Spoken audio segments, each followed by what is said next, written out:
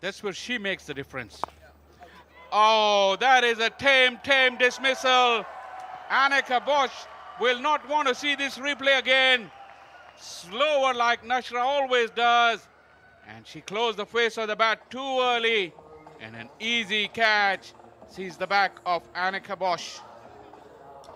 Yeah, the slowness of pitch doing the trick. And the pace she bowls at, as you said. She wanted to flick it towards onside. All she could do is leading edge straight to Nashra Sandhu. How good is she? Always getting wickets. A good inning was required. She couldn't deliver. 10 runs she scored. Anneke Bosch. It's 61 for 2.